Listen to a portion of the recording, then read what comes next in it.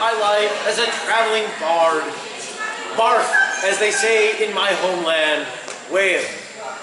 I traveled afar and came to a strange and wondrous land which must be in the center of England, somewhere near Wales, since it has a Welsh place name and is populated by Saxons, the place called Calontir, the Heartland. But I left behind a brother.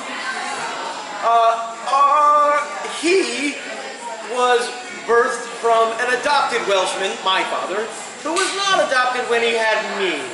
Therefore I, sadly, with my dark heritage, had to wander away aimlessly through life with none of the advantage my brother had. He, on the other hand, married well and did as a good Akmatic should, and fathered many offspring. Many, many are the Madocs of Wales, and many of them around Harlech, the land of my birth.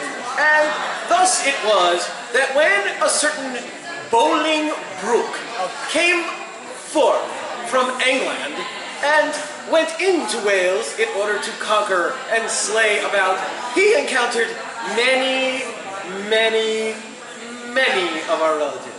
Now he was Henry the Fool. He had a guy named Henry the Fifth. Henry V also went into Wales quite a bit with his father, Bolingbroke. And he encountered many, many, many of my relatives. So just in case his father killing many of my relatives wasn't good enough, his son also did the same.